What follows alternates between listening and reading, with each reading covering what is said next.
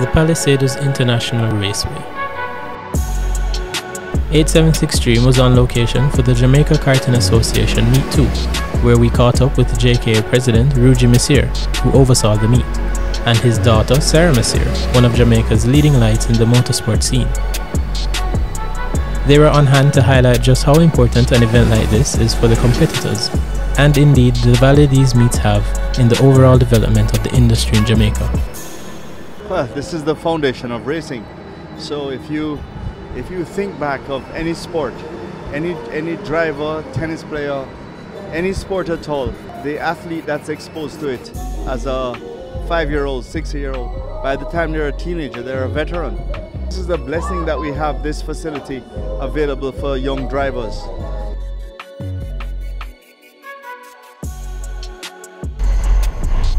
There was plenty of action on show as the event featured drivers as young as 5 years old and a growing number of female competitors as well. What we have in Jamaica is an abundance of talent. What we have is a lack of opportunity. A lack of opportunity but an abundance of talent. That seems to be the case for a lot of our sports in Jamaica. How do you think motor racing, uh, motorsport can combat that? Well, motorsports is, is not just a few drivers. Motorsports is an industry. Every mechanic, every part supplier, fuel sales, oil sales, this is this is a part of the industry. If you look, our lawns have to, the place is kept. We support quite a large staff at every aspect of this sport, from contract staff, from the people that have to marshal and make sure the engines are fair, to the engine builders, to the part suppliers. You know, we're, we're always thankful, thankful for our sponsors. We have Max's Tires, we have Kentucky Fried Chicken, True Juice, we have Herald Printers. There, there's a number of sponsors that maybe because they're, they're closer to the sport that they participate, but we do recognize that without these sponsors, you know, this wouldn't be here at all.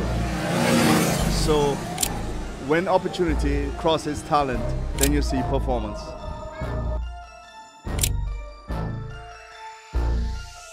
Well, I would only want to be here, you know, supporting the kids coming up from karting because this is the foundation of racing. I would be racing today, but unfortunately, I hurt my ankle the other day, so I'm trying to save myself because I have to leave on Wednesday to go back to training. But I love being here, supporting the events. You know, I'm seeing some more girls showing up for karting in the 50s and the micros, and I just want to support everyone. so you mentioned that this is the foundation of driving. Um, how important do you think it is? Because some of these competitors are like 10 and under. How, how important is it for them to get this deal? Oh, it's hundred percent. Like I have zero doubt that if you start off in karting, it'll only be an advantage for you because with go karting, you know, everyone has the same go kart, the same weight, and the same engines. So you're all the racing aspect is all on you and the skills. So that's where you really work on the foundation of racecraft and lines and proper apexes and how to properly manage the body of the karts and this is what teaches you and all those foundations will only make you 10 times easier and 10 times faster in a car. So what's next for your schedule? You said you're leaving um, shortly. What, what you, where are you going and then what are you doing after? On Wednesday, I'm leaving to go back to the United Kingdom. I have training starts back on the 27th and we'll be in the simulator. Our first race is on the 11th and 12th of June at Snetterton. So that's in the McLaren and it's the GT Cup that will be our first debut race and so we're training up for.